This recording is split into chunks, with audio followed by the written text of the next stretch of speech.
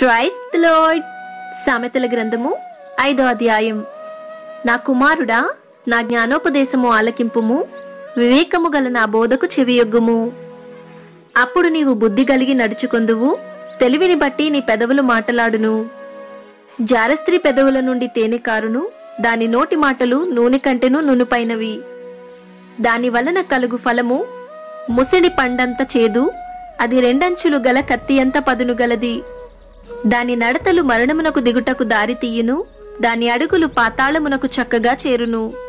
అది జీవమార్గమును ఏమాత్రమును విచారింపదు దానికి తెలియకుండానే దాని పాదములు ఇటూ అటూ తిరుగును.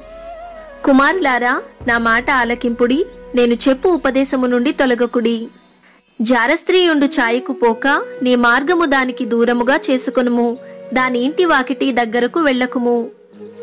వెళ్ళిన ఎడల పరులకు నీ యవ్వన బలమును క్రూరులకు నీ జీవిత కాలమును ఇచ్చివేతువు.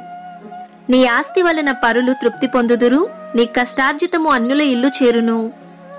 తుదకు నీ మాంసమును నీ శరీరమును క్షీణించినప్పుడు అయ్యో ఉపదేశము నేనెట్లు త్రోసివేసి తిని నా హృదయము గద్దింపు నెట్లు తృణీకరించెను.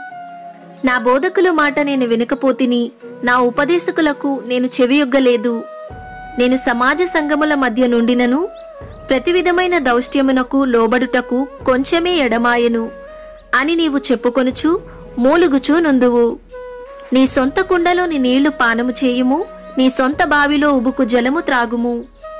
నీ ఊటలు బయటికి చెదిరిపోదగునా వీధులలో అవి నీటి కాలువగా పారదగునా? అన్యులు నీతో కూడా వాటిని అనుభవింపకుండా అవి నీకే ఉండవలెను గదా? నీ ఊట దీవెన నందును నీ యవన కాలపు భార్య ఎందు సంతోషింపుము. ఆమె అతి ప్రియమైన లేడి అందమైన దుప్పి ఆమె రొమ్మిల వలన నీవు ఎల్లప్పుడూ తృప్తి నొందుచుండుము. ఆమె ప్రేమ చేత నిత్యము బద్ధుడువై ఉండుము.